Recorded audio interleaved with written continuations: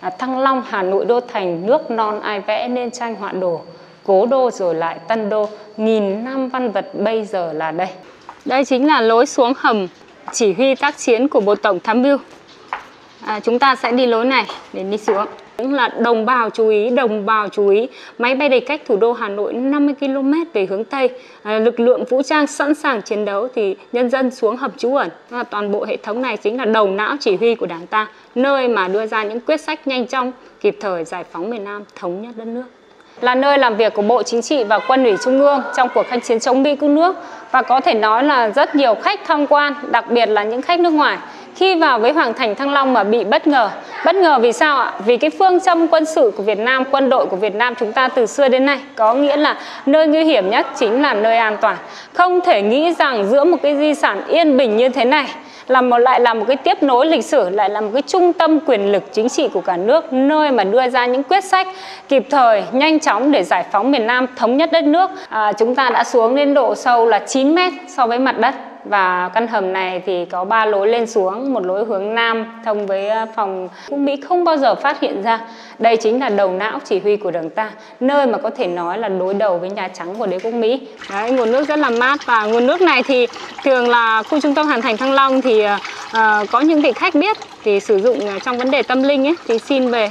Trước khi quý vị xem tiếp video quý vị vui lòng nhấn like và chia sẻ video để ủng hộ kênh. Đừng quên nhấn đăng ký kênh youtube Hà Nội Phố để đón xem những video mới nhất. Quý vị hãy bình luận ở phía dưới để nêu ra những suy nghĩ của mình. Chúc quý vị xem video vui vẻ. Dưới Hà Nội Phố xin mến chào quý vị và các bạn. Chào mừng quý vị và bạn đến với phố Hoàng Diệu. Thưa quý vị, phía sau dưới đây đó là khu di tích lịch sử Hoàng Thành Thăng Long. Hôm nay Duy xin chia sẻ tới quý vị và bạn một trong những trải nghiệm khám phá mới của Hoàng Thành Thăng Long. Chắc rằng rất là nhiều quý vị đã đến với Hoàng Thành Thăng Long để khám phá du lịch nhưng chưa có hướng dẫn viên. Hôm nay Duy đã tìm được một chị hướng dẫn viên. Mời quý vị và bạn cùng Duy, chúng ta cùng chị hướng dẫn viên đi.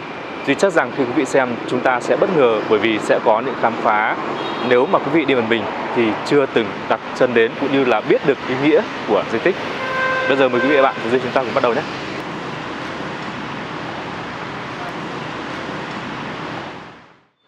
Là chúng ta sẽ đi vào nơi bán vé à, khu nhà đón tiếp của Hoàng Thành Thăng Long. Vị trí này người quý khách có thể vào để mua vé tham quan và thời gian mở cửa của Hoàng Thành Thăng Long là từ 8 giờ sáng đến 17 giờ chiều và thông trưa và thông tất cả các ngày từ thứ hai đến chủ nhật. Không à, không nghỉ ngày nào cả đây là không không gian của à, khu nơi bán vé và nhà đón tiếp. đây hình như là có cái gian trưng bày diễn ra thường xuyên hay là có dịp mới diễn ra? Diễn ra hầu như là cũng là thường xuyên đấy nhưng mà ví dụ như những cái kỳ cuộc là đây là không gian kỷ niệm ngày à, à, Tết à, Đoan Ngọ của mình ngày mùng 5 tháng 5 rồi à, Trung thu rồi à, từng Tết truyền thống thì đều thay đổi những cái không gian trưng bày như thế này nhưng mà nó là diễn ra thường niên ví dụ một cuộc như này là mấy tháng thì lại đến tháng 8 thì lại là Trung thu đây là nơi à, bán vé. Đây là nơi bán vé. Ừ. vé bình thường người lớn là 30 nghìn đúng không ạ? Đúng rồi người lớn là 30 nghìn à, khách à, tham quan nước ngoài cũng như là trong nước đều áp dụng giá vé như vậy. Nếu mà đây ai muốn đăng ký hướng dẫn tham quan. giá của bao nhiêu chị? À, một vé thuyết minh cho đoàn là 150 nghìn một vé. Đây mình đi qua cổng soát vé. À, cho thẻ vào thì à, tại đây sẽ có một cái bảng chỉ dẫn về tour tuyến tham quan lộ trình tham quan. Và xong đấy thì bên tay trái mình đây là uh, bức tường thành uh, những vật liệu kiến trúc của các triều đại phong kiến thời lý thời trần thời lê. Uh, xếp hàng chữ hoàng thành thăng long là điểm check in mà các bạn trẻ cũng như nhiều du khách đến hoàng thành là rất thích check in ở đây. Gạch này chắc là cũng gạch được khai quật từ đúng rồi những gạch này được khai quật. à, đây là cái lộ trình cái lộ trình mình à, đi tham quan.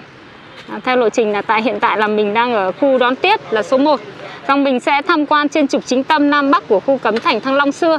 Thì 5 điểm còn lại là cột cờ Hà Nội, di tích Đoan Môn, nền điện Kính Thiên và bậc thềm rồng trước nền điện Kính Thiên, di tích Hậu Lâu và cửa Bắc. Và xen kẽ đấy là một số những di tích cách mạng của thời đại Hồ Chí Minh. Thì số 4 là vị trí hầm chỉ huy tác chiến của Bộ Tổng Tham mưu. Vị trí số 6 sẽ là hầm nhà và hầm D67, nơi làm việc của Bộ Chính trị và Quân ủy Trung ương trên mặt đất và dưới lòng đất. Và ngoài ra nói đến Hoàng Thành Thăng Long thì không thể không nói đến những hiện vật khảo cổ học. Vậy thì số 3 sẽ là khu nhà trưng bày với chiều dài lịch sử 1.300 năm qua tên gọi Thăng Long Hà Nội lịch sử nghìn năm từ lòng đất. Và cuối cùng lộ trình tham quan là vị trí số 8 bên 18 Hoàng Diệu, khu khai quật khảo cổ học thực địa của Hoàng Thành Thăng Long. Và dự kiến thời gian tham quan nếu như đầy đủ cả hai khu như thế này là 1 giờ 30 phút.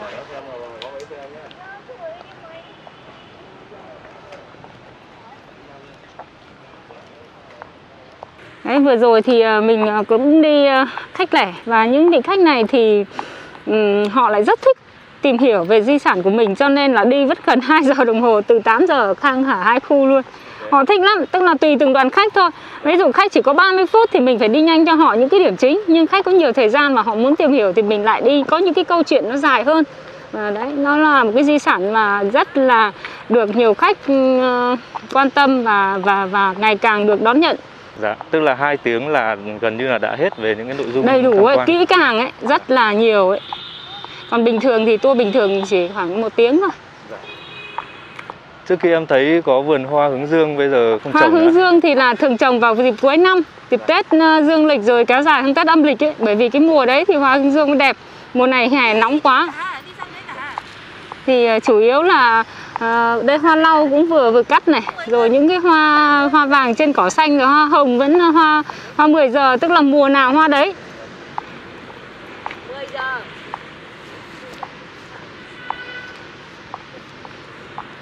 Chị ơi, những du khách nước ngoài họ có đến nhiều không? Có, khách nước ngoài sau khi mà mình mở cửa sau đại dịch ấy thì khách nước ngoài đến hầu như họ đến đều đều. Cái lượng khách thì chưa nhiều hơn so chưa nhiều so so nhiều hơn so với trước đại dịch. Trước những năm trước là đang rất nhiều nhưng mà sau đây thì à, hiện tại là chưa nhiều bằng nhưng mà cũng cũng cũng đã rất đông rồi còn à, những đoàn khách khách Việt thì lại có một cái sức hút mãnh liệt tức là sau dịch sao mà người Việt lại đi du lịch nhiều như thế và em đến Hoàng Thành Thăng Long biết lúc nào thuyết minh cũng cháy cũng cũng cũng tất bật mấy mấy dịp này nhiều đông lắm và chưa bao giờ mà làm lại lại mệt như thế này nhiều như thế này Thế là em may mắn quá gặp chị. Đấy vừa về xong đấy. Đấy thế là còn Hoàng Thành còn à, mở thêm cả thứ hai, tức là đã là bận hơn rồi và tour đêm thứ sáu thứ bảy. Nếu như em mà có dịp thời gian em vào làm tour đêm đêm quay cái đi xem ban đêm ấy cũng hấp dẫn rồi. Dạ. Tối thứ sáu thứ bảy hàng tuần. Buổi đêm thì nó khác buổi sáng những hoạt động gì? Buổi đêm thì là một cái tour chương trình tham quan đặc biệt với cái giá vé hiện tại là đang giảm giá còn 200 000 một người à, và bình thường là 300 nghìn đấy là nó đã khác biệt quá là khác biệt rồi này đây là di tích Van Môn này. di tích Van Môn thì quay cái này. Đây là vòng thành của cấm thành Thăng Long xưa. Kiến trúc ba vòng thành, tam trùng thành quách. Ngoài cùng là La Thành, dân ở bên trong là Hoàng Thành khu vực dành cho quan. Và đây chính là cấm thành Thăng Long. Là đánh dấu chính là cổng đoan môn phía trước quý vị đây.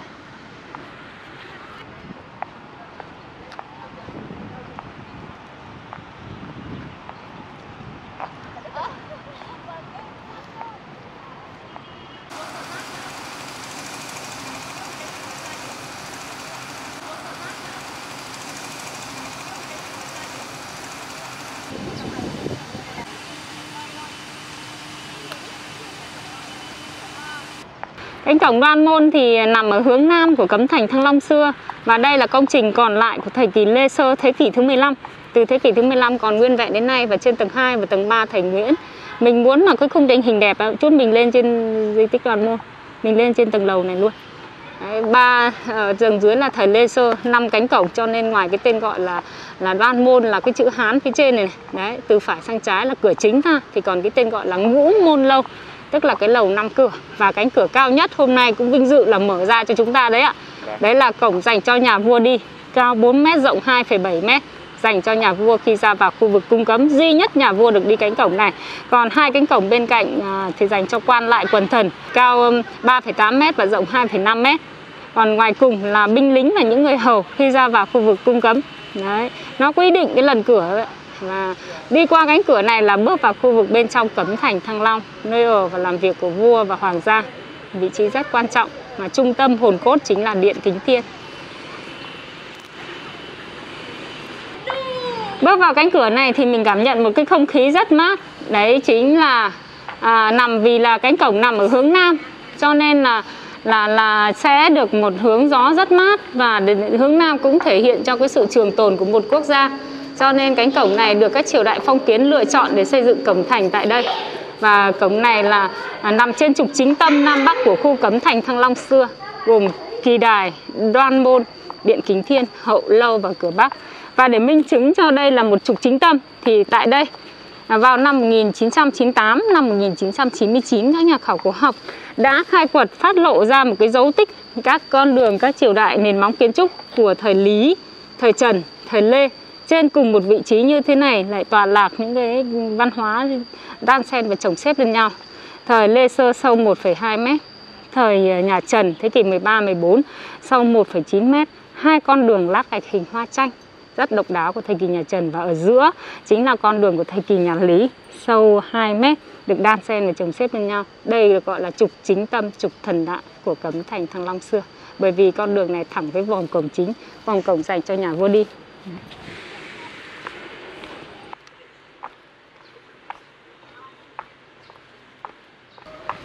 Đây là mình đang đi dưới dưới chân dưới của cổng thành, một cái cổng thành mà rất là vững chắc của thời Lê Sơ.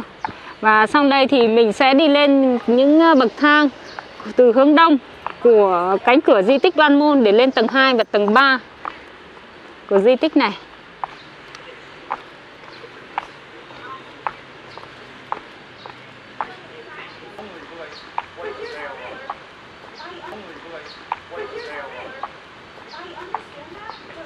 Đây, mình lên trên uh, tầng 2 và tầng 3 của di tích Đoan Môn.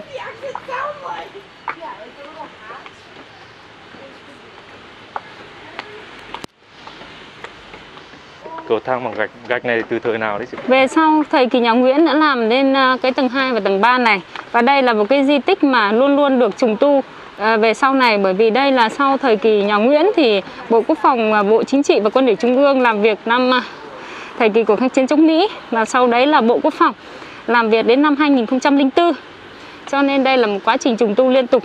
Những vật liệu này thì mới về sau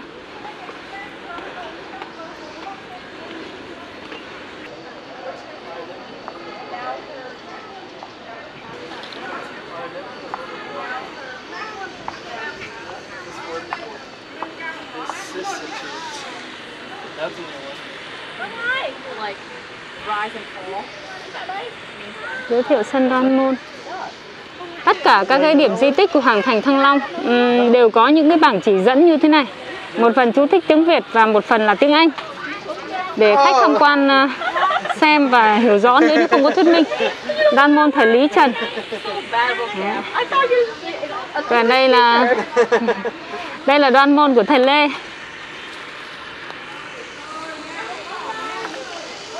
à, mình đứng trên cái khoảng sân của tầng 2 của di tích Đoan Môn này. Thì ờ, sẽ nhìn thấy toàn bộ cái khoảng sân ở phía trước đây nối từ cột cờ. Cột cờ là một cái điểm tham quan của hoàng thành. Đấy, nhưng mà hiện tại thì vẫn chưa được mà bảo tầng quân đội ờ, bàn giao lại. Thì cột cờ là xây dựng vào thời Nguyễn năm 1805 và triều đình nhà Nguyễn xây dựng để phục vụ cho việc là à, một cái đài quan sát và khu vực bên trong cấm thành. Tại à, cột cờ đến đây là 300 mét. 300m đi thẳng trên trục chính tâm này.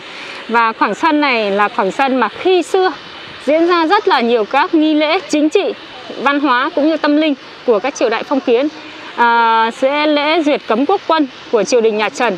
Khi mà đất nước ta ba lần chống quân Nguyên Mông thì nhà vua cùng với các quan lớn trong triều đứng ở trên khoảng sân này để khích lệ tinh thần tướng sĩ trước khi ra trận xem lễ duyệt cấm quốc quân của triều đình nhà Trần và cánh cửa này ở bên à, di tích Đoan Môn từ di tích Đoan Môn thì cái khoảng sân này hiện tại à, khi trước trước cái thời gian mở cửa đây là sân vận động của đội à, bóng đá thể công ấy, sân vận động cột cờ đấy. Còn nhà của mình kia là nhà uống bia, nhà bia ấy. Và sau này thì bây giờ thì hiện tại tổ chức nhiều các sự kiện ý nghĩa à, của thành phố và cũng như là của Sở Văn hóa Du lịch tại đây.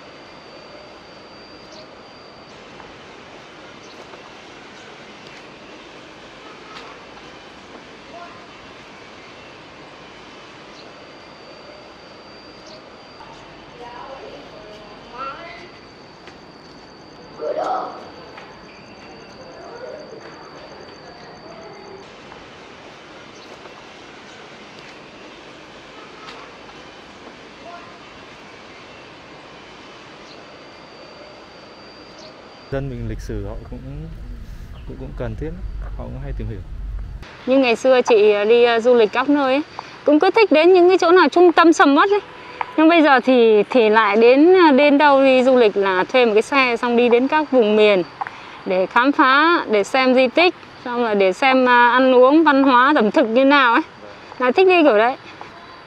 Bình thường ở đây là chỗ múa rối nước đúng không ạ? Đúng rồi chỗ đấy là múa rối nước thì cũng không phải là thường xuyên mà là sẽ kết hợp trong những ngày uh, lễ của mình. Ví dụ uh, như là mùng 5 tháng 5 đây có lễ thì cũng múa này xong rồi uh, tết uh, um, trung thu này uh, tết uh, âm uh, âm lịch này đấy hoặc là tết dương lịch tức là những cái ngày mà cùng với cái giá vé đấy thì vào tham quan miễn phí mà. Đây là con đường đèn lồng. Con đường này thì có thể nói là lung linh và các bạn trẻ các em học sinh thì đến đây chụp ảnh check in uh, kỷ yếu rất nhiều. Buổi tối sẽ rất là đẹp. Đúng rồi buổi tối đây là một cái không gian đẹp để làm tour đêm ấy. Đây là mình ờ, vào trong ờ, nhà trưng bày Thăng Long Hà Nội lịch sử nghìn năm từ lòng đất với chiều dài lịch sử 1.300 năm à, trải qua các triều đại thời Đại La rồi đến thời Nguyễn sau này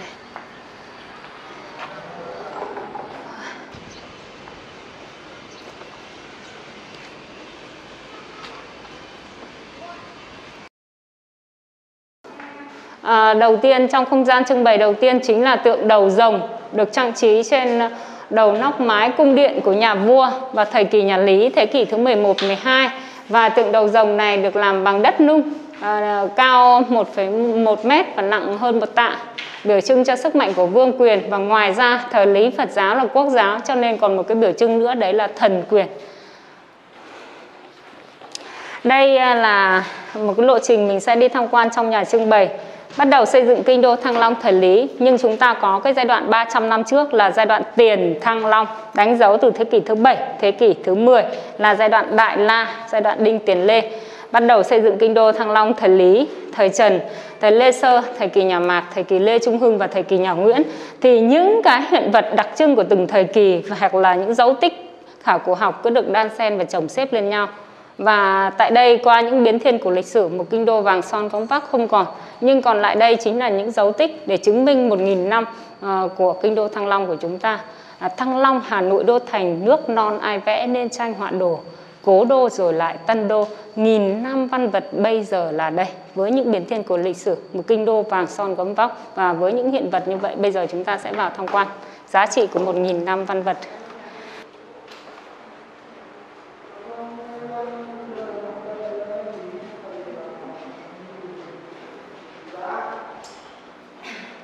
Đây là giai đoạn Đại La, là cái quá trình khai quật sâu nhất của các nhà khảo cổ học ở 18 Hoàng Diệu và giai đoạn Đại La là giai đoạn mà đất nước ta 1.000 năm Bắc thuộc và vị tướng Cao Biền là vị tướng đã, thời kỳ nhà Đường, đã xây dựng thành Đại La vào năm 866 để làm lỵ sở An Nam độ phủ tại đây. Mà thành Đại La sau này vua Lý Thái Tổ xây dựng nền móng để xây dựng kinh đô Thăng Long của chúng ta. Có nhắc đến thành Đại La trong chiếu giải đô. Thành Đại La đô cũ của Ca Vương ở vào thế rồng cuộn hổ ngồi chính giữa Nam Bắc Đông Tây, tiện hình thế nhìn sông dựa núi. Đây chính là thành Đại La. Và những cái dấu tích, những vật liệu kiến trúc của thành à, thời kỳ Đại La thì chủ yếu dù gạch, ngói hay tượng linh thú đều có màu xám đen như thế này, đất nung xám đen, hoặc cũng biểu trưng cá sấu bơi trong sóng nước. Viên khạch các dòng chữ Giang Tây Quân. Đấy hoặc là ngói tượng linh thú như phía bên ngoài. Đấy tượng linh thú uh, chữ nhật hình chữ vương đây hình chữ vương phía khắp phía bên trên. Tượng đầu linh thú này thì nhìn rất là hung dữ và thể hiện được cái sức mạnh của giai đoạn này. Ngoài ra nó còn có ý nghĩa tức là à, thể hiện là canh giữ sự bình yên cho ngôi nhà xua đuổi tà ma. Thì cái tượng linh thú này đặt ờ, ngói này đặt ở ngoài nóc mái cung điện à, mái công trình kiến trúc của thời kỳ đại la. Thời kỳ đinh tiền lê. Thời kỳ Đinh Tiền Lê là giai đoạn thế kỷ thứ 10, tức là kết thúc 1000 năm Bắc thuộc là năm 938 Ngô Quyền đánh thắng quân Nam Hán trên sông Bạch Đằng và mở ra một kỷ nguyên độc lập chủ quyền cho quốc gia Đại Việt. Tuy vậy Lê Ngô Quyền lên ngôi được 6 năm thì xảy ra loạn 12 sứ quân và người dẹp loạn chính là Đinh Bộ Lĩnh lên ngôi và vào năm à, 968 và giai đoạn à, Đinh Bộ Lĩnh là à, ở Hoa Lư, Ninh Bình nhưng mà là cố đổ ờ, đóng đổ Hoa Lư Ninh Bình, nhưng giai đoạn này, ở vùng đất này trọng yếu ở phía Bắc vẫn được xem như là kinh phủ của đất nước Đại cổ Việt chúng ta. Cho nên khi khai quật ở đây thì chúng ta sẽ nhìn thấy rất nhiều các dấu tích à, của thời kỳ à, Đinh Tiền Lê. Ví dụ đây là chi tiết móng cột âm là cột đặc trưng của thời kỳ Đinh Tiền Lê, hay là viên gạch khắc dòng chữ Đại Việt Quốc Quân Thành Chuyên. Còn lại một màu viên gạch nhưng đã xác định được rõ dòng chữ trên đấy, Đại Việt Quốc Quân Thành Chuyên. Tức là viên gạch chuyên dùng mà quân Đại Việt chuyên dùng để xây thành khác với Giang Tây quân là quân đội Giang Tây của thời kỳ nhà Đường trước đấy. Hai ngói lợp ở phía bên trên thì đã có những cái tạo tác vô cùng độc đáo. Ngói úp nóc bằng hình tượng quầng sáng lửa hình lửa như này hay ngói úp nóc gắn hình tượng chim nguyên lương à, được làm bằng đất nung À, bên cạnh đấy những giá trị về mặt ừ, gốm sứ để nó lên cái đời sống sinh hoạt ngay trong uh, khu vực của giai đoạn này thì giai đoạn thế kỷ thứ 10 chủ yếu là những cái ấm thân hình cầu uh, vai có 5 quai, 4 quai, 6 quai và bằng sành, chất liệu sành. Giai đoạn này thì gốm sứ chúng ta cũng chưa phát triển nhiều như cái giai đoạn đại la mà được du nhập từ đất nước Trung Quốc.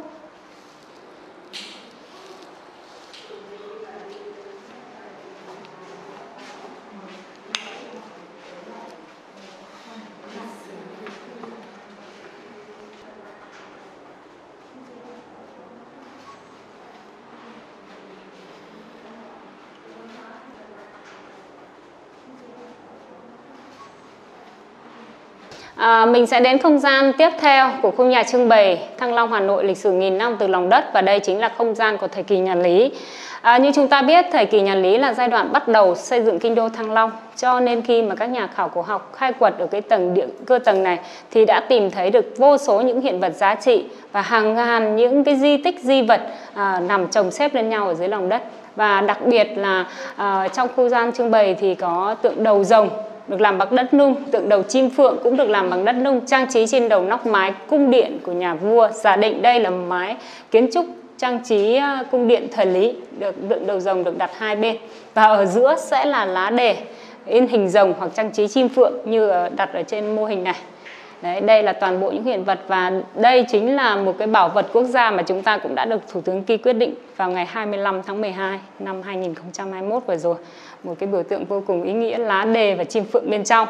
Rồi ngói ống gắn hình tượng hoa sen và trang trí hình rồng bên trong mà cũng như vậy là trên lưng là hình lá đề như thế này. Cái biểu trưng của thời kỳ nhà lý ấy, thì chúng ta thấy rất rõ hoa sen lá đề hình tượng rồng mềm mại nhẹ nhàng và ngói tượng hình ờ, ngói úp nóc hình tượng chim nguyên nương. Tức là giai đoạn này Phật giáo phát triển cực thịnh. Phật giáo là quốc giáo cho nên là chúng ta sẽ thấy hóa thân hiện thân của rất nhiều hình ảnh của mang ảnh hưởng của Phật giáo tại đây ví dụ như chim nguyên nương cũng vậy Chim Uyên Ương là một cái biểu trưng của Phật giáo, là hóa thân của Đức Phật, là hiện thân của tình yêu và hạnh phúc. Và nói đến Uyên Ương là nói đến đôi, đến cặp, không bao giờ lẻ. Vì thế cho nên là à, nếu mà một con mà không may mà mất đi thì con còn lại cũng không thể sống nữa. Thì đấy chính là câu chuyện về chim Uyên Ương là uh, Uyên Ương lẻ bạn khóc người mình yêu. Tức là bao giờ cũng vậy là trong dân không chỉ trong dân gian mà ngay cả trong cung đình để thể hiện cho một cái mong ước về tình yêu trong một cái cuộc sống viên mãn thì ờ, đã trang trí những cái biểu trưng như thế này và tượng chim nguyên ương của thời kỳ nhà Lý là tỉ mỉ rất nhiều trau chuốt và cầu kỳ về đường nét và rất đẹp thì đấy chính là cái biểu trưng của của của, của thời kỳ nhà Lý.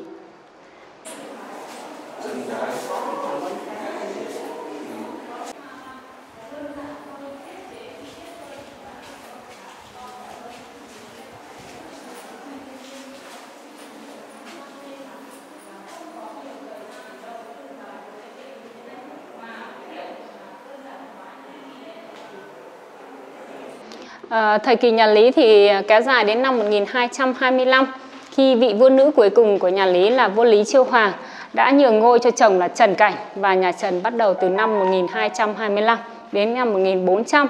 Thời kỳ nhà Trần là một cái giai đoạn được kế thừa một cách khá là nguyên vẹn những uh, tinh hoa những giá trị về văn hóa của thời kỳ nhà Lý, thế kỷ 11, 12. Cho nên là chúng ta sẽ thấy là ở đây mang âm hưởng của thời kỳ nhà Lý cũng giống những cái hiện vật của thời kỳ nhà Lý rất nhiều. Nhưng mà nếu mà nhìn một cách chi tiết hơn thì chúng ta sẽ thấy vẫn là ngói gạch hình chữ nhật, hay là hay là ngói ống lập diềm mái trang trí lá đề và bên trong là hình rồng nhưng có khác đúng không ạ? Và khác ở đây có nghĩa là đường nét hoa văn à, đơn giản hơn, tiết chế, chi tiết hơn và mập mạp, to khỏe hơn. Bởi vì giai đoạn này đất nước ta chiến tranh liên miên, xảy ra rất nhiều cái cuộc chiến tranh, cho nên là là không có nhiều thời gian để đầu tư vào những cái việc như thế này. Và cái việc mà đơn giản hóa những cái chi tiết cầu kỳ là một cái việc thiết yếu. Và cũng như vậy thì nếu như tượng đầu chim phượng của thời kỳ nhà Lý là có màu, thì tượng đầu chim phượng của thời kỳ nhà Trần là không có màu. Tuy vậy nó vẫn thể hiện được cái cốt cách của thời kỳ nhà Trần là một cái giai đoạn mà hào sản hơn, cũng như là một cái giai đoạn cần phải sự chắc khỏe hơn so với những kiến trúc của thời kỳ nhà Lý trước đấy nhưng vẫn là cái tinh hoa của Phật giáo là của thời kỳ nhà Trần và thời kỳ nhà Lý là giống nhau. Bên cạnh đấy thì để nói lên cái đời sống sinh hoạt phong phú đa dạng và cao cấp, thì chúng ta phải nói đến những cái giá trị về gốm sứ, ví dụ những chiếc thạp trang trí hình hoa sen dây như thế này, hay là bình rượu, vẽ hoa, văn cảnh cúc đấy chúng ta thấy nó nó rất tinh tế và đẹp. Và đặc sắc của nghệ thuật gốm sứ thời kỳ nhà Trần nó đã là lên đến đỉnh cao. Im lặng thế và phải nói rằng nếu mà nói về một cái nhà nước phong kiến mà mà mà có một cái chế độ quân chủ và một cái chế độ quản lý nhà nước cao thì phải nói đến thời kỳ Lê Sơ, thế kỷ thứ 15. Thời kỳ Lê Sơ tức là sau 20 năm đánh thắng quân Minh thì vua Lê Lợi thiết lập nên triều Lê và xây dựng à, à, à kinh đô Thăng Long của chúng ta tại đây vào năm 1428 và chúng ta đã nhìn thấy một cái sự khác biệt so với cái thời kỳ Lý Trần trước đấy. Giai đoạn thời Lý Trần Phật giáo là quốc giáo thì giai đoạn này với tư tưởng thế thiên hành đạo, nho giáo. Và thế thiên hành đạo cho nên nhà vua thay trời quyết định mọi việc biểu trưng của nhà vua phải là cái biểu trưng mạnh mẽ cân quốc và uy quyền. Đấy là hình tượng rồng trên ngói thanh lưu ly và hoàng lưu ly, trải dài trên mái của cung điện. Và rồng của thời kỳ này khác với rồng của thời kỳ lý trần trước đấy. Thân rồng thời lý trần mềm mại, nhẹ nhàng, uốn lượn theo hình sin 12 khúc biểu tượng trong 12 tháng của một năm. Có nhiều nhà sử học nhận định nó giống như một con run đất hay một con rắn nước. Nhưng mà đến thời kỳ sau này thì không thế nữa. Hội tụ nhiều các cái con vật mạnh mẽ để vào một cái hình tượng đầu rồng. Sao cho để thể hiện được cái quyền uy của nhà vua tối cao nhất. Và cũng minh chứng cho điều đấy có rất nhiều những cái loại ngói à, ngói trích thủy trang trí hình hoa cúc rồi hình tượng rồng như này. Và rồng là năm móng rồng thời lê năm móng biểu trưng cho nhà vua. Và tại đây thì chúng ta cũng khai quật được rất nhiều gốm sứ à, của thời lê. Và đỉnh cao chính là một số những chiếc bát chiếc đĩa hình, hình rồng và chiếc bát hình thấu quang này. Tức là chiếc bát này là một cái hiện vật à, chúng ta cũng đã được công nhận là bảo vật quốc gia vào ngày 25 tháng 12 năm 2021. Khi mà dọi đèn thì nổi lên hình tượng rồng, còn nếu như không dọi đèn thì không thấy được hình tượng rồng. Và rồng này là rồng mong mang phong cách rồng thể lê và thể hiện được năm năm móng, tức là sức mạnh tuyệt đối của nhà vua. Mặc dù là những cái chi tiết vẽ rất là nhỏ nhưng mà chúng ta không bị bỏ sót bởi một cái chi tiết nào cả. Chúng ta vẫn nhìn thấy rất rõ từng chi tiết một của hình tượng dân thân rồng này. Đấy là chiếc bát dành riêng cho vua quan sử dụng mà đây chính là một cái hiện vật có lò gốm lò quan của kinh đô Thăng Long lúc bấy giờ. Đấy, một cái hiện vật rất cao cấp. Khi mà cái hiện vật gốm sứ này cao cấp đến mức độ mà đạt được 5 cái tiêu chí cơ và một trong những cái tiêu chí đấy là ở cái độ nung độ nung rất cao ở nhiệt độ 1200 trên 1200 độ C và khi mà gõ vào cái thành chiếc bát này thì nghe tiếng kêu rất giòn à, nghe giống như một cái tiếng chuông nhẹ tiếng chuông rất giòn rất vang à, đạt đến trình độ như vậy và thấu quang tức là một nửa ánh sáng chiếu vào thì sáng lên như vậy Đấy. À, bây giờ là mình sẽ đi à, tham quan um, vị trí trung tâm của cấm thành Thăng Long xưa, nơi thiết triều. Và sau khi tham quan nơi thiết triều xong của cấm thành Thăng Long xưa thì chúng ta sẽ đi tham quan di tích cách mạng. Mình đi một lượt như vậy.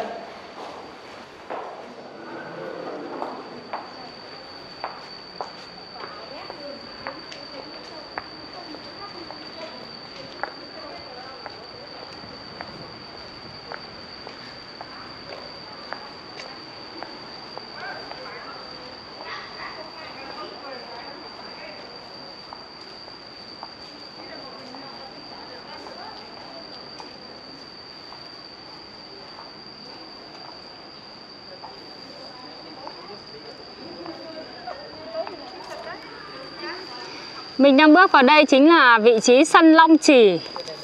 Đây chính là vị trí sân Long Trì. Long Trì có nghĩa đây là sân rồng Và đây là khoảng sân tổ chức nhiều các nghi lễ chính trị, Văn hóa, tâm linh của các triều đại phong kiến trước thềm điện kính thiên.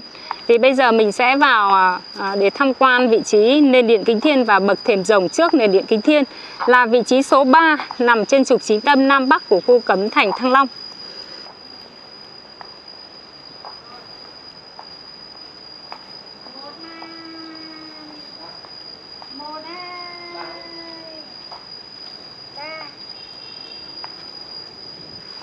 Đây là vị trí nằm trên trục chính tâm Nam Bắc của khu cấm thành Thăng Long, có tên gọi là nền điện kính thiên và bậc thềm rồng trước nền điện kính thiên. Sở dĩ gọi là nền điện kính thiên là tại vì chúng ta đang thực tế thấy điện không còn khi thực dân Pháp vào chiếm thành thì họ đã phá bỏ để xây dựng cái tòa nhà bên trên vào năm 1886 để làm sở chỉ huy pháo binh quân đội Pháp. Nhưng mà cũng xin phép đi ngược lại với lịch sử một chút để chúng ta hiểu rõ vị trí này là một vị trí quan trọng như thế nào, là trung tâm hồn cốt của cấm thành Thăng Long xưa. Vậy thì trên cái vị trí này được xây dựng là à, đỉnh ngọn núi Nùng, Nùng Sơn chính khí, Tô Lịch Giang Trần. Đây là một ngọn núi đất và dân gian tương truyền là trên ngọn núi này thông với cái lối sông thông xuống cái đầm cho nên gọi là Long Đỗ có nghĩa là rốn rồng là nơi trung đúc khí thiêng của non sông đất nước của vũ trụ và trời đất. Cho nên các vị vua anh minh đã lựa chọn vị trí này để làm nơi thiết triều, bàn luận việc nước và đón sứ giả nước ngoài. Điện đầu tiên được xây dựng tại đây là điện Càn Nguyên và thời Lý có nghĩa là khởi nguyên, khởi nguồn của trời đất. Sau điện Càn Nguyên là điện Thiên An có nghĩa là cõi trời bình an và cuối cùng là Điện Kính Thiên được xây dựng vào năm 1428 với thời Lê. Điện Kính Thiên tồn tại thời gian rất dài, sang đến thời kỳ nhà Nguyễn là hành cung Long Thiên. Mỗi khi nhà vua Tần Du từ Huế ra Bắc Thành thì sẽ là khu vực làm việc ở phía Bắc tại đây và điện không còn khi mà thực dân Pháp phá bỏ để xây dựng sở chỉ huy pháo binh quân đội Pháp ở phía bên trên. Và đây hiện tại khi mà mở cho khách tham quan là một dấu ấn tâm linh nơi thờ 52 vị vua. Đấy chính là 9 vị vua thời Lý, 14 vị vua thời Trần, 24 vị vua thời Lê và 5 vị vua thời Mạc và sau khi mà giới thiệu xong cái vị trí này thì thường là quý khách chúng ta sẽ lên trên chính điện để nền điện để có những nén tâm nha. Tưởng nhớ đến công ơn của các vị tiên đế 52 vị vua tại đây. Và như chúng ta nhìn thấy thì điện không còn nhưng bậc thềm rồng này thì còn từ khi xây dựng đến nay còn nguyên vẹn. Đấy chính là vào năm 1467 dưới triều vua Lê Thánh Tông thì bậc thềm rồng uh, còn lại nguyên khối uh, rồng ba nguyên khối của thời kỳ Lê Sơ thế kỷ thứ 15 mà bằng đá nguyên khối đấy ạ, là mắt lồi miệng rộng, sừng nai hai chạc, tai thú cổ rắn và trên lưng là hình sống đao. Thân rồng trườn dài từ đỉnh ngọn núi nùng xuống sân long trì tức là khoảng sân đây là nơi diễn ra rất nhiều các nghi lễ quan trọng của các triều đại phong kiến.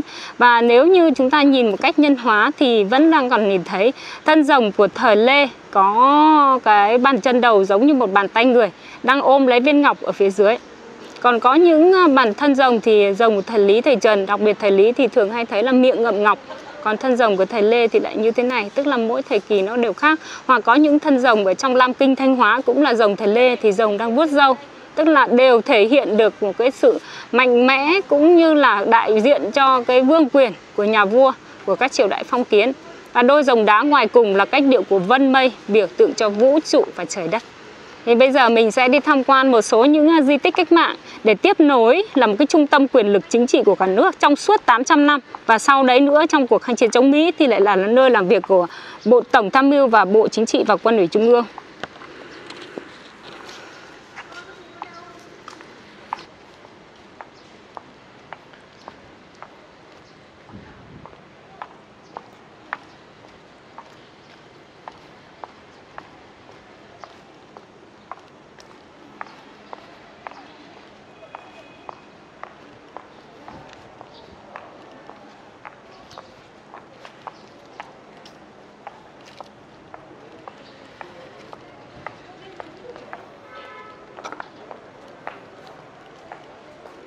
Đây chính là lối xuống hầm chỉ huy tác chiến của Bộ Tổng Tham mưu.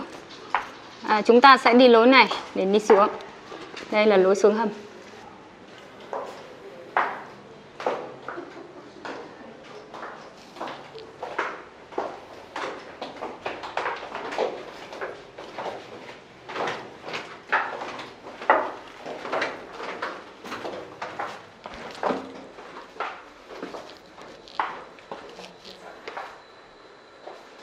À, trong hoàng thành Thăng Long, trong thành cổ Hà Nội thì ờ, khi xưa vào cuộc kháng chiến chống Mỹ, à, Bộ à, Tổng tham mưu cũng như Bộ Chính trị và Quân ủy Trung ương nhận định cái tình hình là đế quốc Mỹ sẽ bắn phá miền Bắc và cao điểm là để đối phó với chiến tranh phá hoại lần thứ nhất và lần thứ hai của đế quốc Mỹ và và đặc biệt là 12 ngày đêm Hà Nội Điện Biên Phủ trên không năm 1972.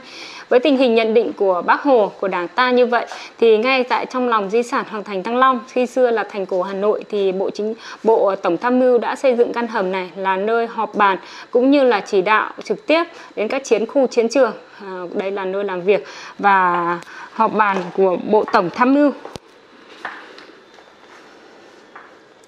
Hầm chỉ huy tác chiến này thì được xây dựng vào cuối năm 1964, đầu năm 1965 và À, xây dựng vô cùng kiên cố với lớp bê tông, lớp cát ở phía bên trên dày 1,5m có tác dụng giàn lực nếu như bom đạn đánh trúng điểm hầm.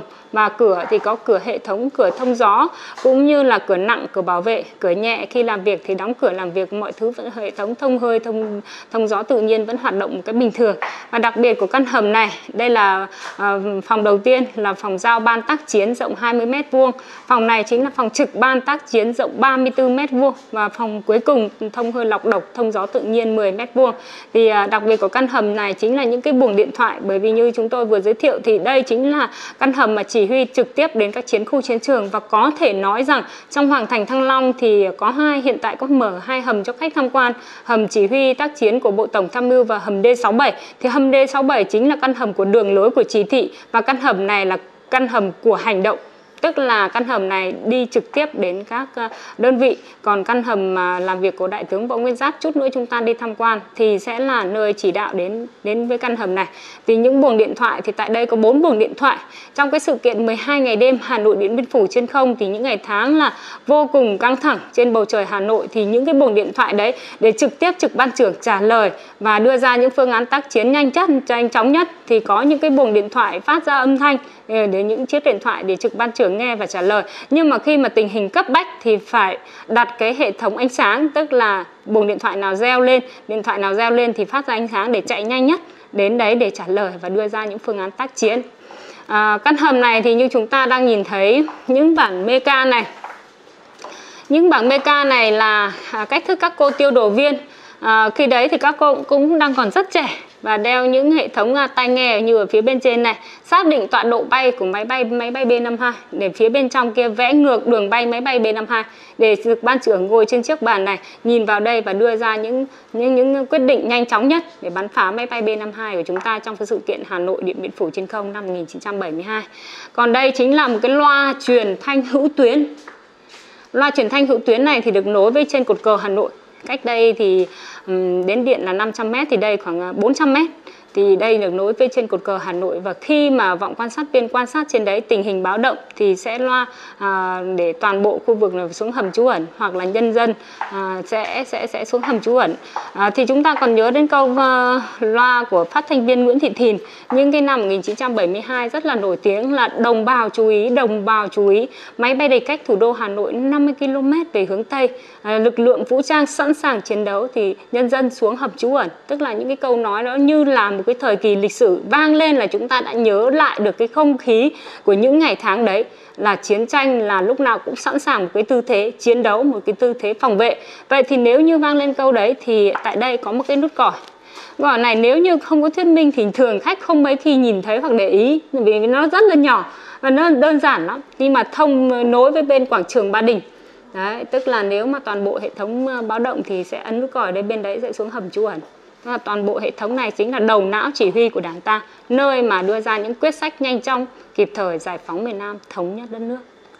Và để tiếp tục cái lộ trình tham quan một số những di tích cách mạng thì ờ, bây giờ mình sẽ tạm biệt với căn hầm này để tiếp tục tham quan nhà và hầm D67 là nơi làm việc của Bộ Chính trị và Quân ủy Trung ương ở phía sau của Điện Kính Thiên.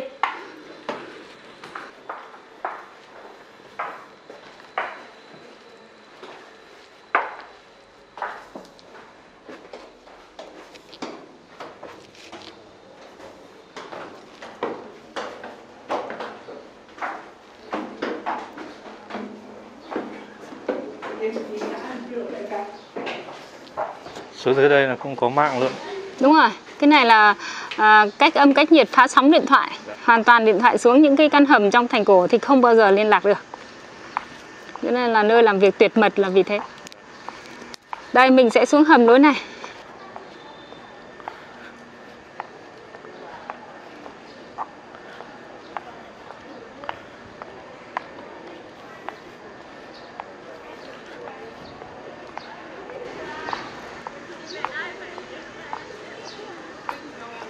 hai cái căn này cũng có một cái đặc biệt này hai cái cái nhà vuông hai cái nhà vuông ở bên cạnh sân điện đây là thực dân pháp xây và mình trong những cái kỳ cuộc của hoàng thành thăng long thì đây bên tay trái đây chính là à, trưng bày um, gốm sứ của thời lê. Thì bên này chính là không gian trưng bày kỷ niệm tết đoan ngọ xưa và nay của mình. Thì thôi mình đi xuống hầm nhé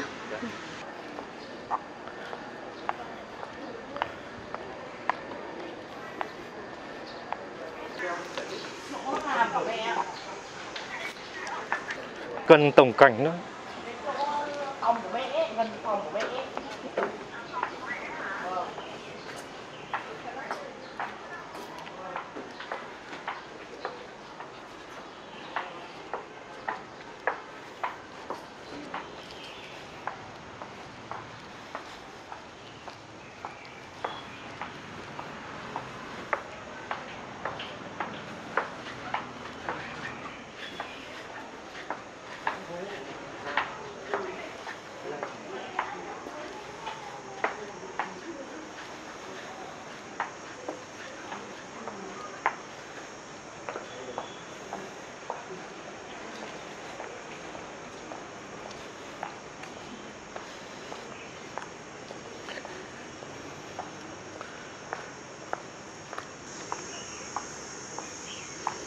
Bây giờ mình sẽ đi tham quan di tích nhà và hầm D67 thì đây chính là cụm di tích cách mạng cùng với căn hầm chỉ huy tác chiến của Bộ Tổng Tham mưu trong thành cổ Hà Nội.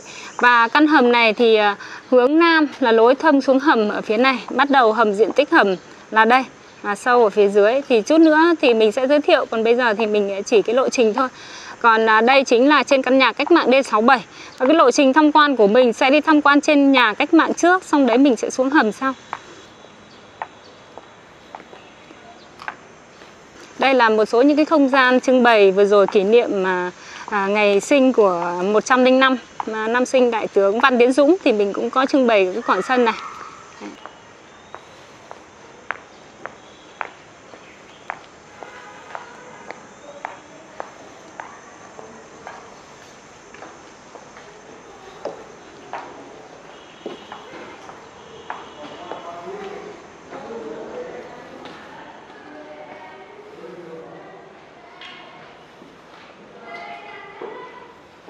Vâng, à, đây chính là nhà và hầm D67. Thì nhà và hầm D67 là được xây dựng vào năm 1967 cho nên lấy ký hiệu là nhà và hầm D67 là nơi làm việc của Bộ Chính trị và Quân ủy Trung ương trong cuộc kháng chiến chống Mỹ cứu nước và có thể nói là rất nhiều khách tham quan, đặc biệt là những khách nước ngoài khi vào với Hoàng Thành Thăng Long mà bị bất ngờ. Bất ngờ vì sao ạ? Vì cái phương châm quân sự của Việt Nam, quân đội của Việt Nam chúng ta từ xưa đến nay có nghĩa là nơi nguy hiểm nhất chính là nơi an toàn. Không thể nghĩ rằng giữa một cái di sản yên bình như thế này là một lại là một cái tiếp nối lịch sử lại là một cái trung tâm quyền lực chính trị của cả nước nơi mà đưa ra những quyết sách kịp thời nhanh chóng để giải phóng miền Nam thống nhất đất nước từ tổng hành dinh đến dinh độc lập. Tức là từ đây đưa ra những mệnh lệnh, những chỉ thị quan trọng nhất để đi đến giải phóng miền Nam thống nhất đất nước. Và như trên uh, chiếc bàn này quý vị chúng ta cũng đang nhìn thấy đây là uh, cuộc hội nghị diễn ra cái cuộc hội nghị mở rộng diễn ra nhiều ngày nhất để đi đến một quyết định quan trọng nhất cho cuộc tổng tiến công. Đấy là cuộc hội nghị mở rộng diễn ra từ ngày 18 tháng 12 năm 1974 đến ngày 8 tháng 1 năm 1975 dưới sự chủ trì của đồng chí Lê Duẩn, nguyên là bí thư thứ nhất của Đảng Lao động Việt Nam và bây giờ chính là Đảng Cộng sản Việt Nam của chúng ta. Và tham gia thì có các vị đại tướng, à, các vị thượng tướng và các lãnh đạo cao cấp của Bộ Chính trị để đi đến quyết định chúng ta phải giải phóng miền Nam thống nhất đất nước trong năm 1975 để tránh những tổn thất về người và của cho quân và dân ta. Và trên thực tế quân sự nhanh chóng kịp thời, đặc biệt ngày 7 tháng 4 năm 1975, Đại tướng Võ Nguyên Giáp khi mà đã thấy thời cơ hoàn toàn chiến mùi thì đã ra một mật lệnh vô cùng quan trọng thần tốc, thần tốc hơn nữa, táo bạo, táo bạo hơn nữa, tranh thủ từng giờ, từng phút sốc tới mặt trận giải phóng miền Nam quyết chiến và toàn thắng thì chúng ta đã hoàn toàn thắng lợi vào ngày 30 tháng 4 năm 1975. Nam Bắc sum họp nhà, non sông liền một giải. Và tiếp tục lộ trình tham quan, chúng ta sẽ đi về hướng đông của căn nhà cách mạng D67, diện tích 35 m2, phòng làm việc của Đại tướng Võ Nguyên Giáp.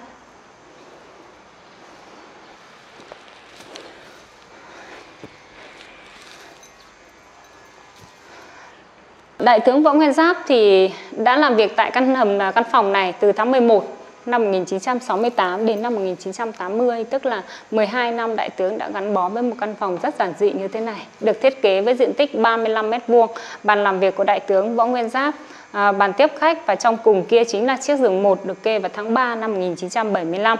Mặc dù nhà riêng bên số 30 Hoàng Diệu cũng rất gần đây thôi, nhưng mà trong những ngày tháng cuối cuộc hành chiến chống Mỹ gay go khốc liệt thì đại tướng còn không có thời gian để về nhà nghỉ ngơi. Và đây chính là một cái chiếc giường để tiện cho đại tướng nghỉ ngơi và làm việc đây 24 trên 24 giờ. Và trên chiếc bàn này cũng vậy, chúng ta còn uh, vinh dự được lưu rất nhiều những cái hiện vật, đầu sách, bút tích và đặc biệt là một cái tác phẩm à, văn học mà đại tướng thường xuyên nghiên cứu và cũng như là thường xuyên à, đọc. Đấy chính như là một cái tác phẩm gối đầu giường của đại tướng. Đấy chính là tác phẩm truyện kiều của Nguyễn Du. Cũng có một cái sự kiện rất là xúc động khi mà đại tướng trả lời báo giới trong cái sự kiện 12 ngày đêm Hà Nội Điện Biên Phủ trên không Đại tướng ngồi trên chiếc bàn này duyệt thông cáo chiến thắng trong chiến dịch lịch sử 12 ngày đêm. Thì đại tướng từng tin chiến thắng báo về. Một chiếc máy bay rơi cửa hàng ăn tương mai trên phố Hai Bà Trưng, một chiếc máy bay cháy ở phía Đông Anh Hà Nội và liên tiếp những tin chiến thắng báo về. Thì đại tướng vô cùng sung sướng cầm tờ giấy duyệt thông cáo chiến thắng ra khỏi căn vườn trước mặt, nhìn lên bầu trời với muôn ngàn tên rồng lửa thăng long, tức là máy bay Hà Nội ta lúc bấy giờ. Hà Nội mặc dù những ngày đấy là những ngày cuối đông nhưng lòng đại tướng lại cảm thấy hạnh phúc và ấm áp biết bao nhiêu. Thì đây chính là một cảm xúc rất là chân thành mà đại tướng đã kể lại. Và bây giờ mình sẽ đi về hướng Tây của căn nhà cách mạng D67 là phòng làm việc của Đại tướng Văn Tiến Dũng. Đi qua lối này thì chúng ta sẽ thấy là có một số những chiếc xe à, được trưng bày tại đây. Đây là xe mà lãnh đạo bộ à, phục vụ cho việc là lãnh đạo bộ chính trị đi họp trong à, những ngày tháng à, à, trong cuộc kháng chiến chống Mỹ và sau này. À, nằm trên trục chính tâm thì phía sau còn di tích hậu lâu. Hậu lâu và cửa bắc nữa nhưng mà cái vị trí từ hậu lâu ra cửa bắc là chưa thông quan được bởi vì còn rất nhiều khu tập thể bộ quốc phòng. Cho nên thường cái lộ trình tham quan hoặc là khu vui chơi trẻ em thì cũng tập trung ở cái khu vực này. Xong đấy thì sẽ sang cái khu 18 Hoàng Diệu. Và bây giờ thì mình cũng sẽ đi tham quan tiếp đây là phòng làm việc của đại tướng Văn Tiến Dũng.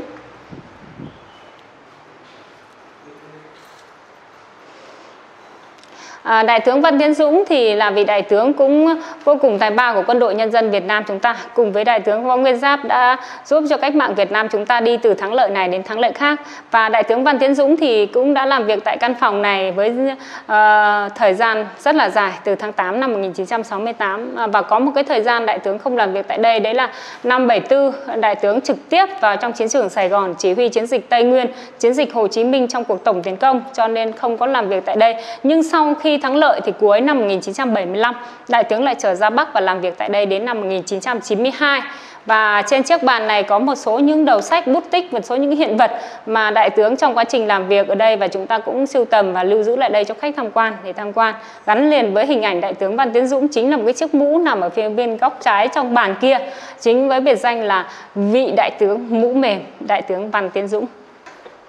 Chúng ta sẽ đi qua phòng nghỉ giải lao để xuống tham quan à, hầm D67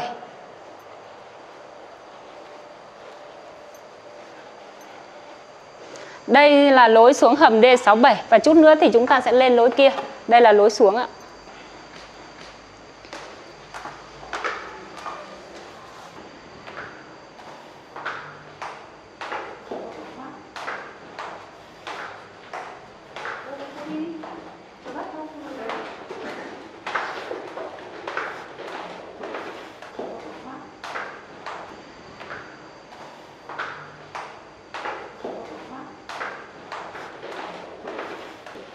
Đấy, căn hầm này thì à, xây dựng vào năm 1967 cho nên lấy ký hiệu là hầm D67.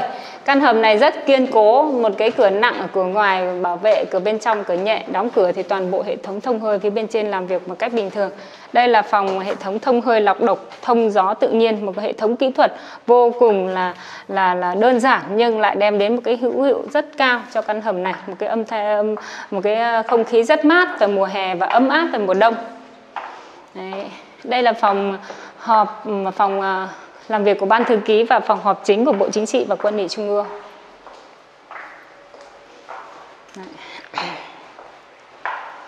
Không khí rất là dễ chịu mà bây giờ cái này mà bê được lên trên thì chắc là mình sẽ trường thọ đúng không ạ? cần điều hòa. Đấy, đây không khí rất dễ chịu. Đây là à, chúng ta đã xuống đến độ sâu là 9 mét so với mặt đất và căn hầm này thì có ba lối lên xuống một lối hướng nam thông với ờ, phòng à, căn nhà nhà con rồng là nơi ờ, bây giờ là vị trí tâm linh. Và hai lối hướng bắc là một phòng nghỉ giải lao chúng ta vừa xuống và chút nữa đi lên là phòng thông với làm việc của đại tướng văn à, võ nguyên giáp. Căn hầm này thì được xây dựng bởi bộ tư lệnh công binh và với 300 cán bộ từ nhiều binh đoàn giỏi được cử về đây xây dựng thì trong những cái giờ giới nghiêm của một ngày À, bộ đội công binh đào đất bỏ vào bao tải và vác ra sông Hồng. Hoạt động vô cùng bí mật như vậy trong vòng 6 tháng thì hoàn thành. Trong quá trình đi vào à, xây dựng cũng như sau này đi vào hoạt động thì đế quốc Mỹ không bao giờ phát hiện ra.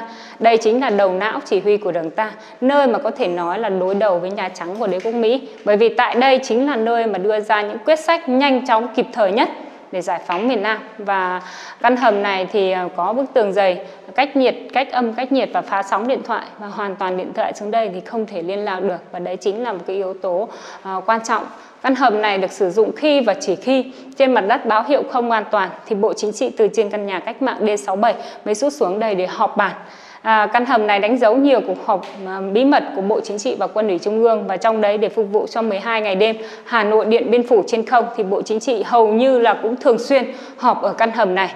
Và như chúng ta biết là những bản đồ những bản đồ trong à, căn hầm này là phục vụ cho cái cuộc chiến 12 ngày đêm của chúng ta trên bầu trời Hà Nội máy bay B-52 đúng không ạ?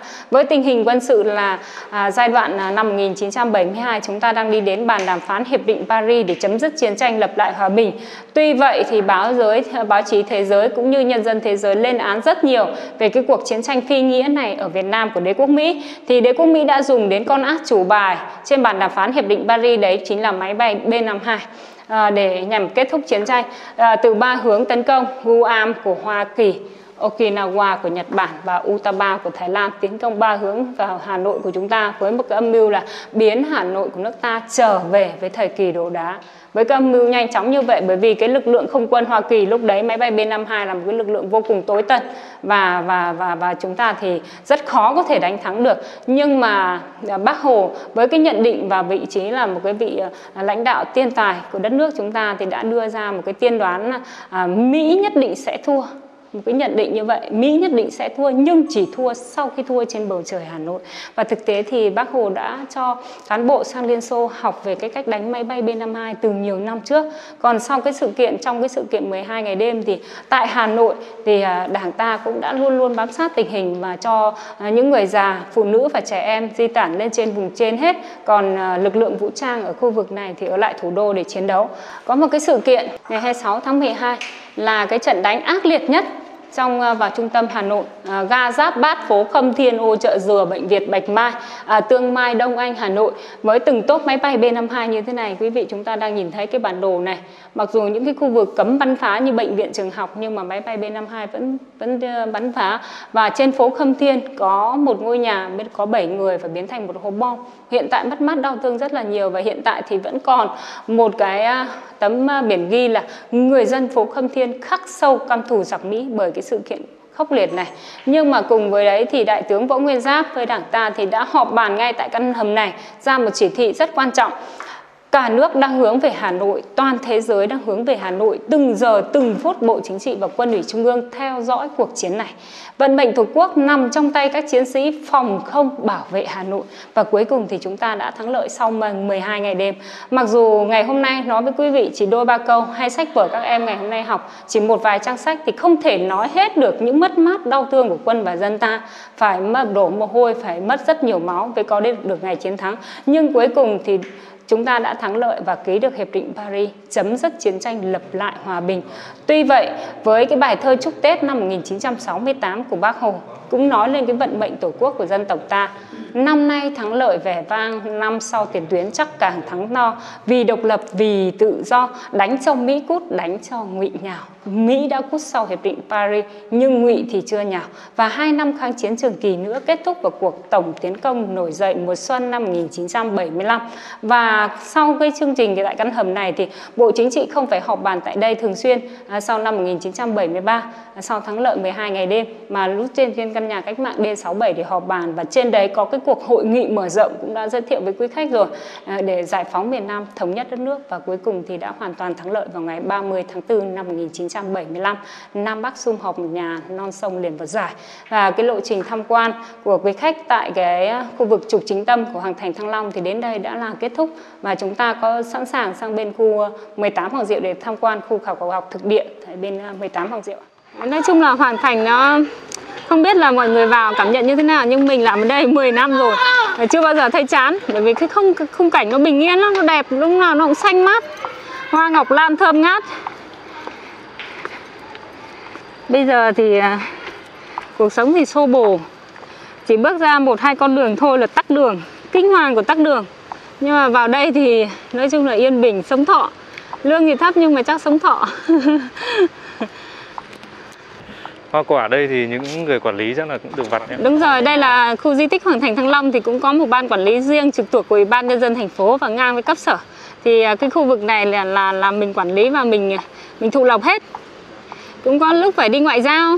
Ví dụ như sấu riêng này, vài hôm thu hoạch thì cũng ờ, ngoại giao, bởi vì sấu Hoàng Thành ngon lắm. Ăn nó thơm mà nó không bị ờ, chua theo kiểu chua chua lẻ. Nó nó chua thanh thanh, mát mát, nói chung là vị trí chắc là đất đây là đất đất đất lành, đất tốt chút nữa mình ờ, sang bên khu 18 mình sẽ thấy rất nhiều chiếc giếng nước và nguồn nước rất nhiều, rất trong để biết rằng đây là một cái vị thế là à, mạch nước ngầm và toàn bộ cái vị trí âm dương là đều hài hòa hết đây là phòng làm việc của ban trung tâm mỗi phòng hướng dẫn thuyết minh bọn chị là ngồi ngoài kia Đấy, còn đây là ở trong này hết Những kiến trúc này toàn xây từ thời Pháp ạ. Ừ, đúng rồi. Thời Pháp vào là phá hết của mình. Thời Nguyễn là cũng đã một phần di rời những vật liệu kiến trúc tốt vào Huế rồi. Còn lại đến thời Pháp là hầu như là phá. Đây, mình đi luôn này.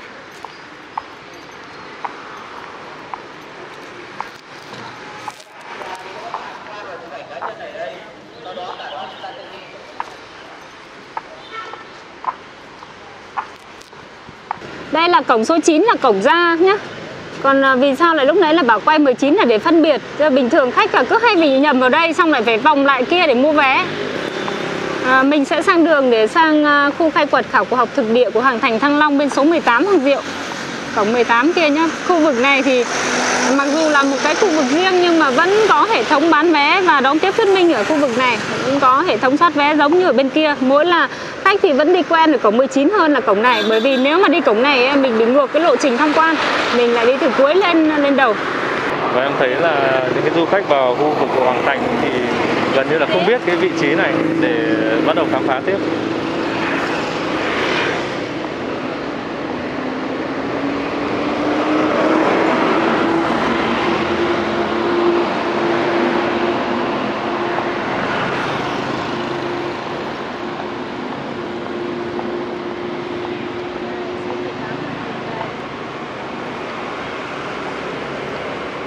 Hoàng Diệu kính chào quý khách đây là khu khai quật khảo cổ học và nơi vẫn là nơi bán vé mình vào đấy nhá mình lướt ra nhá, đi đúng như lộ trình nhá.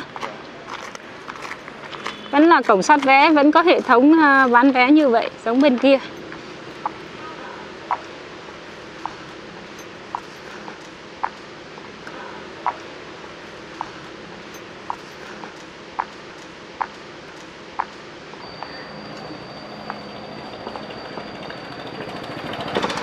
Bên này thì thường khách cũng cũng có sang và họ cũng có nhiều khách họ thích lắm, bởi vì cái thích của họ là một cái sự đặc biệt, là tại vì là cái khu vực bên này nó nghiêng về cái khảo cổ một chút, thì không phải vị khách nào cũng thích và lĩnh hội được. Thế thì đây là cái lối đi vào cái khu khai quật khảo cổ học của mình. Và hai bên đã à, mình thấy là trang trí những đá chân tảng như thế này và một cái hệ thống bóng đèn ban đêm thì lung linh đẹp lắm, đèn vàng đẹp lắm. Thì là một cái cột gỗ khi xưa, mô phỏng lại một cái cột gỗ khi xưa. Đấy. Và những cái hệ thống móng trụ này thì bằng đá rất là vững chắc. Phía bên trên thì lại còn được trang trí những đài sen như thế này là của thầy Lý thế kỷ thứ 11 12.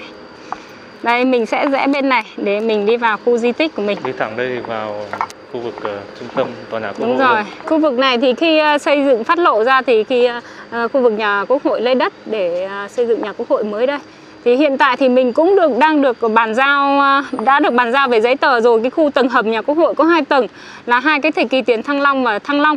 Thì cũng những hiện vật như thế này. Và có hai cán bộ là mình và một cái chị một bạn nữa.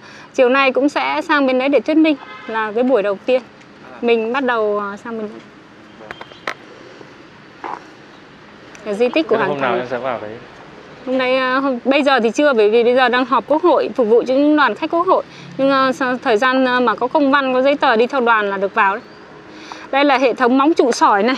Khi xưa xây dựng cung điện tại đây rất chú trọng với hệ thống móng trụ sỏi là làm là làm móng như thế này để không bị lún trong cái cách thức gia cố công trình. Bởi vì như chúng ta biết là thầy Lý thầy Trần thì à, khu vực này rất là trũng và được bao bọc bởi ba con sông cho nên là thường xảy ra những trận lũ lụt.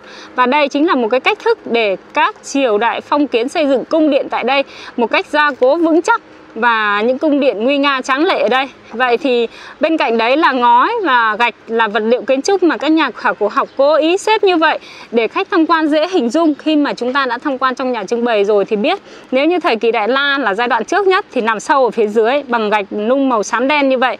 Còn thời Lý Trần là gạch vồ ở phía bên trên à, gạch Lý Trần là gạch đất nung phía bên trên màu đỏ còn gạch vồ là lớp bên trên cùng là của thời kỳ Lê Sơ thế kỷ thứ 15 giống như cái công trình đoan môn mà chúng ta vào cửa thành ở phía bên hướng nam đấy Mình sẽ đi tham quan hai khu khảo cổ học của Hoàng Thành Thăng Long.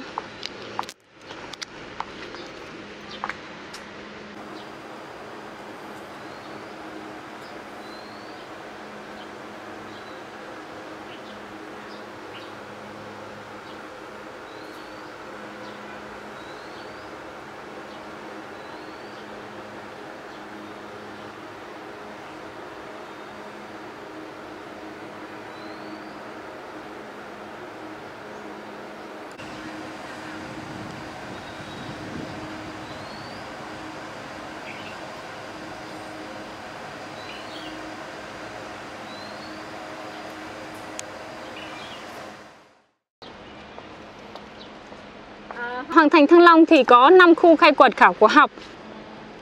Các nhà khảo cổ học đã tiến hành 5 khu là khu A, khu B, khu C, khu D và khu E. Tuy vậy thì hai khu chỉnh thể cho khách tham quan đấy là khu A và và khu B phía trước quý vị đây và ở giữa chính là dấu tích của một dòng sông được gọi là sông Đào hay sông Cổ ngay trong cấm thành Thăng Long.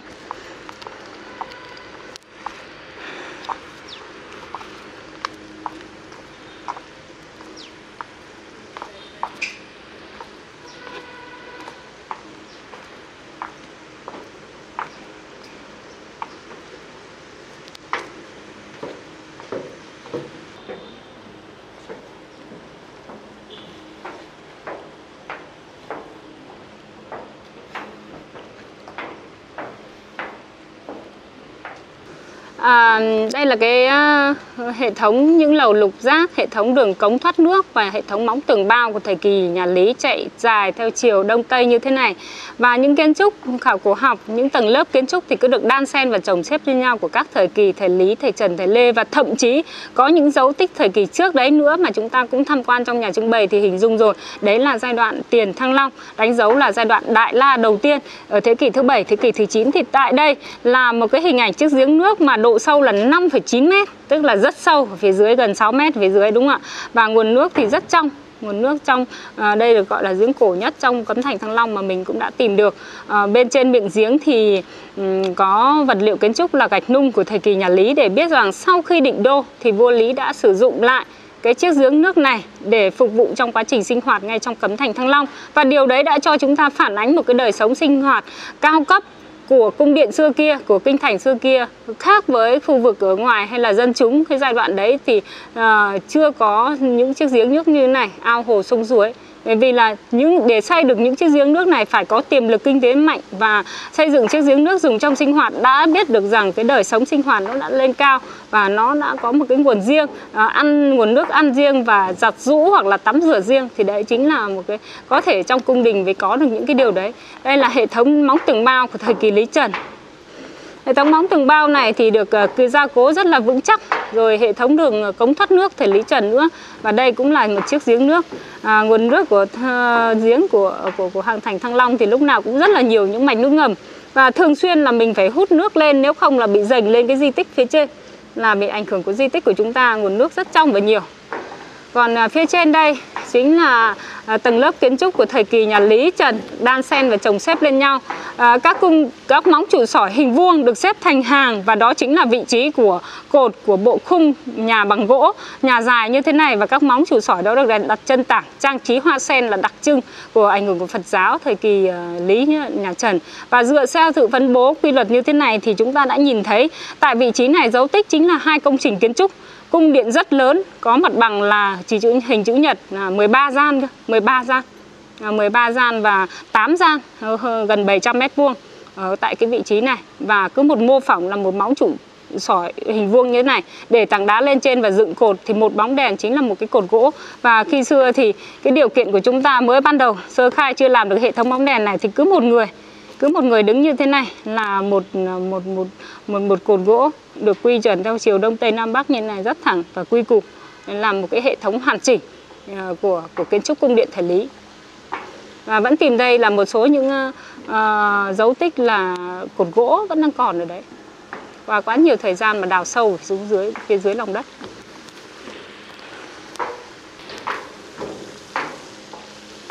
Đấy, cứ một uh, cái móng trụ sỏi một ô được uh, móng này thì được làm gia cố bằng cách là những sử dụng những cái sỏi sông và những đất đồi để nện thật chặt. Xong đấy là để tảng đá lên trên và dựng cột để không bị lún rất nhiều cứ một ô lại là một móng.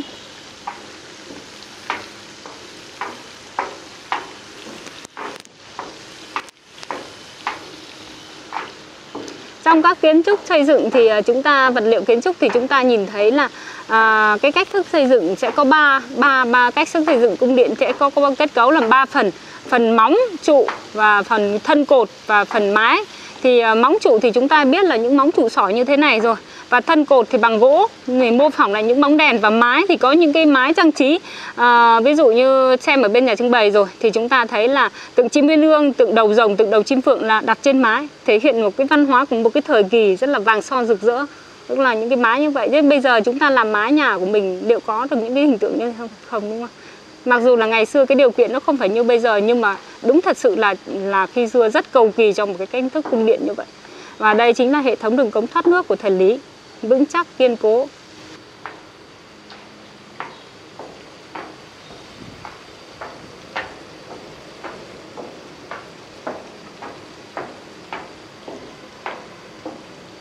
À, bên cạnh đấy thì tại khu vực này à, các nhà khảo cổ học cũng phát lộ ra được một số những chiếc giếng nước ở đây à, bên trong kia một chiếc giếng nước và đây cũng là một chiếc giếng nước của thời kỳ Lê Sơ Lê Sơ thế kỷ thứ 15 bằng và gạch vồ thế này.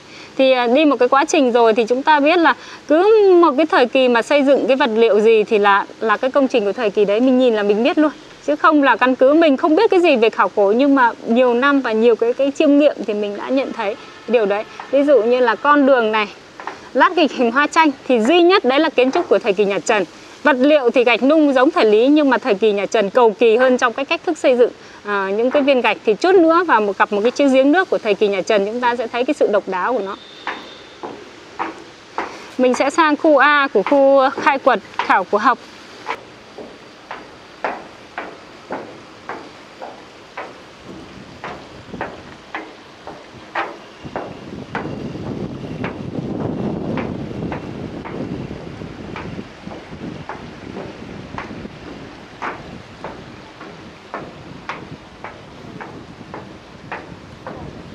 À, bên à, khu A cũng là dấu tích nền móng kiến trúc cung điện thời Lý và quy mô rất là lớn chạy dài theo Bắc Nam thế này. Diện tích là à, có 12 gian gồm hai trái và kết cấu là những 6 hàng cột. 6 hàng cột và diện tích xuất lộ là hơn 1.000 1.166 mét vuông tức là rất rộng còn rộng hơn cả cái khu bên kia bên kia và có chiều dài chạy dài là 82 mét tức là đây là một cái hệ thống cung điện nguy nga nguy nga rất là là là lớn ở trong cái khu vực này của thời kỳ nhà Lý. Và ngoài ra nữa thì là à, khu vực này chúng ta cũng phát lộ ra rất nhiều các dấu tích móng của thời kỳ à, của thời kỳ nhà Lý Trần. Và đây chính là lầu lục giác ngay phía trước chúng ta đây. Đấy, chúng ta đang phải quay lại như vậy. Một hôm trời mưa ấy là nó bị bị dột xuống là hỏng cái À, diện tích lầu lục giác này. Và chạy suốt theo cái khu vực chúng ta khai quật thì đã khai quật được 81 dấu tích lầu lục giác này. Và những lầu lục giác này bên cạnh dòng sông Đào bên cạnh cái lòng hồ của thời kỳ nhà Trần thì đây là một cái vị trí rất là nên thơ. Nói rất là nên thơ thì có vẻ như hơi quá nhưng vị trí này là cái khu vực gọi là cũng có thắng cảnh tại đây. Khi mà vua chúa cũng như là à, toàn bộ hoàng tộc có thể à, nghỉ lại cái khu vực này để à, vui chơi hoặc là làm thơ à, nghỉ ngơi ngay tại cái dòng sông này để ngắm cảnh dòng sông đào ở đây à, vị trí là rất đẹp.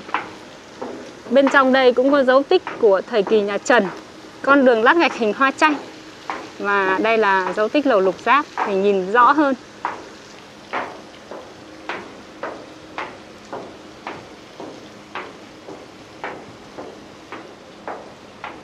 À, tại khu di tích của mình thì khu A, một khu khai quật khảo cổ học đã phát lộ ra dấu tích của một dòng sông dòng sông ờ, của lòng hồ lòng hồ của thời kỳ nhà Trần. À, và sử sách thì cũng có ghi chép lại là cái lòng hồ này ờ, được xây dựng vào thời kỳ vua Trần Dụ Tông khi mà ông vua cho binh lính đào lòng hồ để đem nước mặn lên nuôi trồng thủy hải sản ngay trong cấm thành Thăng Long đấy, một cái sự ờ, cũng là là là rất là đầu tư, đúng không ạ? Cầu kỳ. Ở đây cũng là một chiếc giếng nước nữa. Mình tìm được vô số những giếng nước và vẫn còn chạy dài theo chiều bắc nam thế này, là dấu tích của lầu lục giác. Đấy. dấu tích của lầu lục giác. Được bố trí rất đều nhau. Đấy. sáu cạnh. À, bây giờ thì mình sẽ tham quan cái chiếc giếng nước, giếng vua của thời kỳ nhà Trần, thế kỷ 13, 14 Ngay tại vị trí phía trước đây.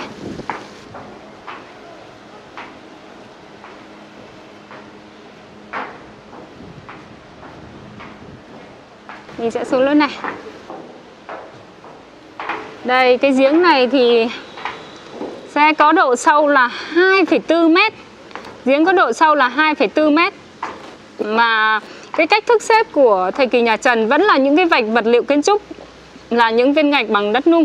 Như vậy nhưng mà xếp theo hình dích sắc hoa văn xương cá từ phía dưới lên. À, chúng ta thì cũng còn lại à, cái bức tranh khi khi các nhà khảo cổ học à, đào được. Phía dưới có rất nhiều những à, sành vỏ sành vỏ sò hay là một số những cái dấu tích như thế này.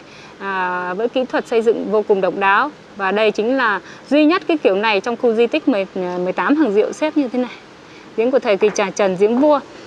Và cái chiếc giếng nước này thì cũng là một cái điểm hẹn cuối cùng của du khách khi ờ, đến với Hoàng Thành Thăng Long.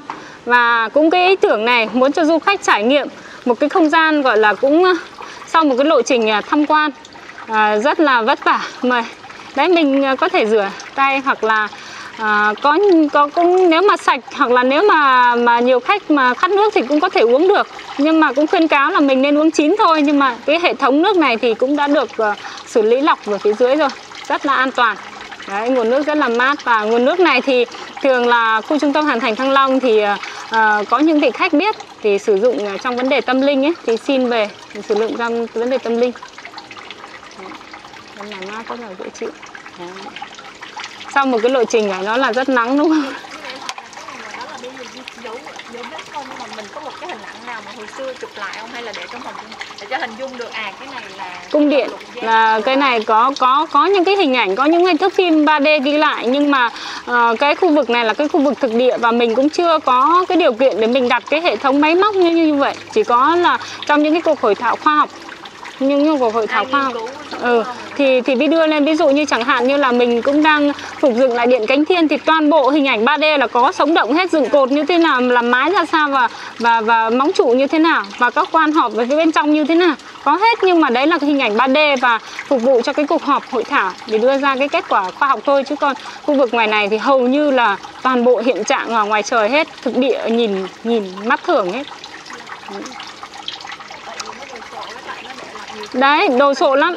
Thì cái không gian đồ sộ này thì lại cũng một điều vô cùng may mắn khi mà Ủy ban nhân dân thành phố tức là Hoàng Thành của mình à, đã được ờ, Quốc hội tầng hầm hai hai hai tầng hầm của nhà Quốc hội đã bàn giao lại cho mình. Tầng 1 và tầng 2 thì có hai thời kỳ là Tiền Thăng Long và Thăng Long. Ờ, cũng có những cái hiện vật y chang như thế này nhưng mà có âm thanh, có ánh sáng uh, hỗ trợ thì mình nhìn được ra luôn. Móng và các thứ nói chung là đã là một cái công trình hiện đại rồi là bên nhà Quốc hội thì hy vọng là chúng ta sẽ sớm được đón khách như bình thường. Và còn hiện tại thì vẫn đang ảnh hưởng của dịch và uh, cũng uh, chính trị đang họp um, quốc hội cho nên mình là cũng cũng chưa có được vào tham quan được. Đấy. hy vọng ờ, hy vọng là hoàn thành sẽ được uh, lại hết thì mình sẽ nhất thể được.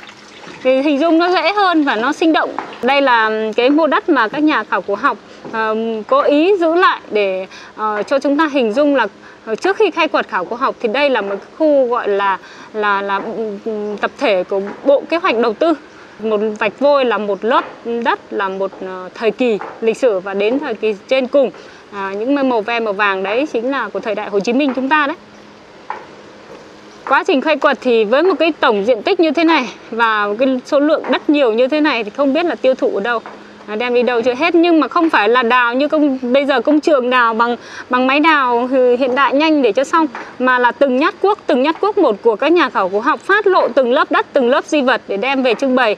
Và những cái di vật này là hơn 1.000 năm rồi, cho nên là nó rất dễ bị vỡ khi mà đưa ra ngoài cái lòng đất cho nên là cái quá trình khai quật đây là một cái quá trình gọi là là tỉ mỉ và công phu à, một cái công trình nghiên cứu lớn của Việt Nam chúng ta. Và có thể nói là cái giai đoạn năm 2002 2004 là cái cuộc tổng khai quật lớn nhất của Việt Nam và Đông Nam Á lúc bây giờ Đấy, hiện tại.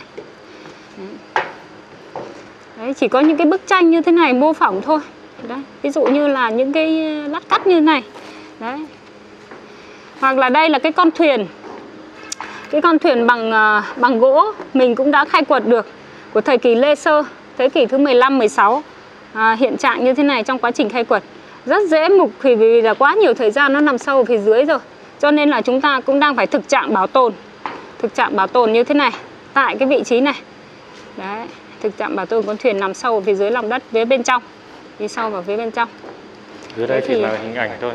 giờ hình ảnh ngay phía dưới luôn cũng không sâu không không lâu ở không không xuống sâu à, cái lộ trình tham quan của mình cả hai khu thì đã rất là kỹ càng và đến đây là kết thúc à, những cái ô này cũng là móng trụ sỏi đấy Cảm ơn quý vị đã chú ý theo dõi. Quý vị nhớ nhấn like cũng như chia sẻ video để ủng hộ kênh. Đừng quên nhấn đăng ký kênh YouTube Hà Nội Phố để đón xem những video mới nhất. Quý vị hãy bình luận ở phía dưới để chúng ta cùng giao lưu học hỏi nhé. Xin chào và hẹn gặp lại quý vị.